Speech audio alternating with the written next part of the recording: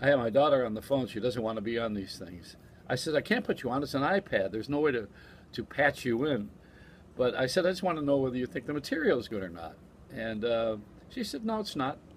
I said, okay, thanks a lot for the judgment. You know, it's, uh, what is it? They call it uh, ignorance. It's contempt prior to investigation. That's well said, isn't it? Uh, we've investigated these crimes enough. I think uh, that uh, Boston bomber, they ought to be put in the ring tonight with the uh, Mexican fighter. What's his name? Uh, Pacquiao?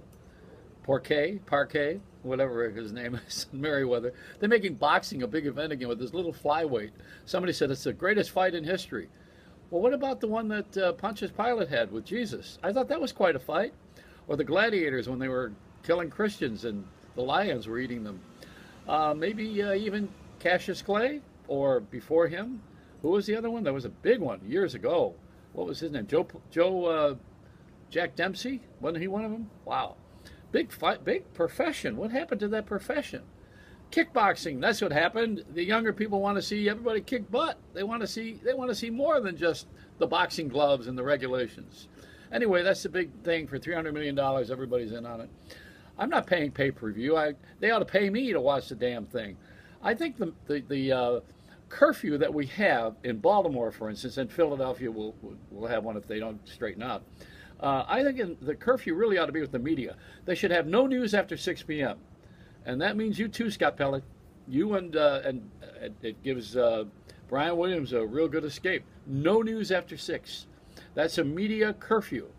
And then we'll all learn how to handle our affairs by talking to each other every night and having a community, maybe, if we can possibly stand each other that long without creating our own fights. and of course, it's, uh, this whole thing has just gotten way out of proportion on the television. They show all these people. It needs a host. The, the, the, those cops ought to be tried on Judge Judy. And I think Oprah needs to hide a key under those cars that were uh, turned over in Baltimore. And uh, maybe we should have a, a, host like Imus. Imus and Al Sharpton should they should host these events on television and it should be sponsored by Denny's. Boy, you talk about putting everything in the same room, right? I guess I better get out of here before uh, something strikes me like lightning or somebody. a brick is going to fall on my head and I'm going to get smart. Then I won't be funny anymore. Well, who thinks you're funny now? Why am I talking to myself? It's a Reynolds wrap.